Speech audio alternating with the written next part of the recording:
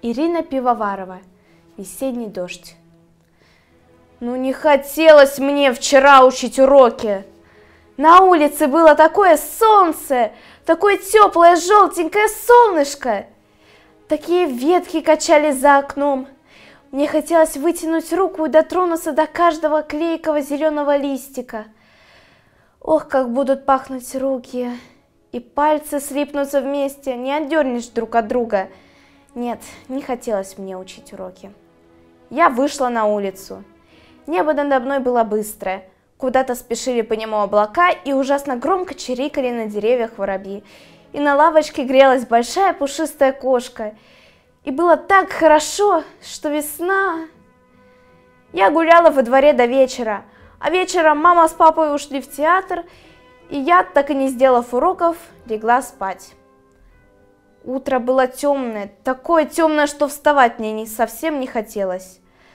Вот так всегда. Если солнышко, я сразу вскакиваю. Я одеваюсь быстро-быстро. И кофе бывает вкусный, и мама не ворчит, и папа шутит.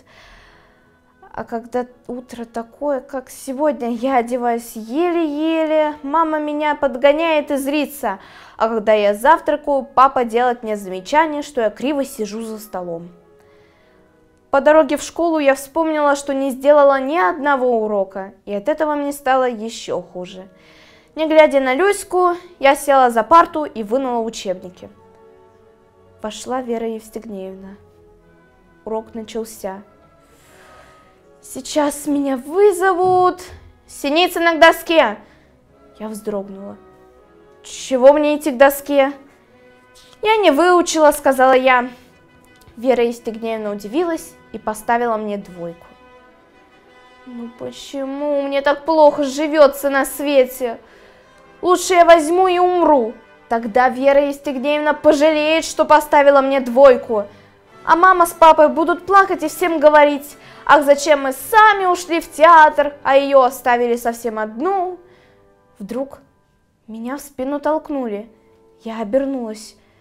Мне в руку сунули записку – я развернула узкую длинную бумажную ленточку и прочла. «Люся, не отчаивайся. Двойка это пустяки. Двойку ты исправишь. Я тебе помогу. Давай с тобой дружить. Только это тайна, никому ни слова». Я луквокыл.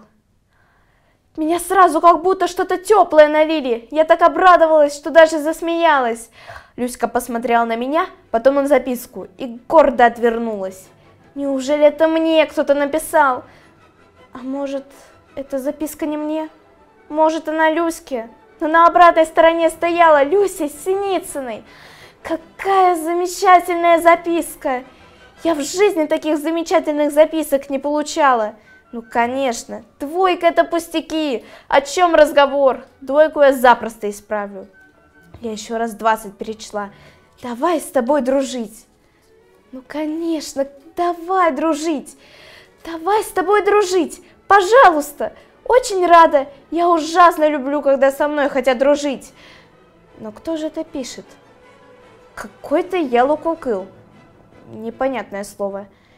Интересно, что оно обозначает? И почему этот Cockle хочет со мной дружить? Может быть, я все-таки красивая? Я посмотрелась в парту. Ничего красивого не было.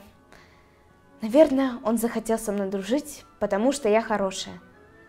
А что, я плохая что ли? Конечно, хорошая, ведь с плохим человеком никто дружить не захочет. На радостях я толкнула локтем Люську. Люсь, а со мной один человек дружить хочет? Кто? Сразу спросила Люська. Я не знаю, тут как-то непонятно написано. Покажи, я разберу. Честное слово, никому не скажешь. Честное слово. Люська прочла записку и скривила губы. Какой-то дурак написал. Не мог свое настоящее имя сказать. А может, он стесняется? Я оглядела весь класс. тоже мог написать записку. Но кто? Хорошо бы Коля Лыков. Он у нас в классе самый умный. Все хотят с ним дружить. Но ведь у меня столько троек. Нет, вряд ли он. А может, это Юрка Селиверстов написал? Да нет, мы с ним и так давно дружим. Стал бы он ни с того ни с сего мне записку посылать. На перемене я вышла в коридор. Я встала у окна и стала ждать. Хорошо бы этот Ялукокыл прямо сейчас же со мной подружился. Из класса вышел Павлик Иванов и сразу направился ко мне. Так, значит, это Павлик написал? Только этого еще не хватало. Павлик подбежал ко мне и сказал. «Синицына, дай 10 копеек!»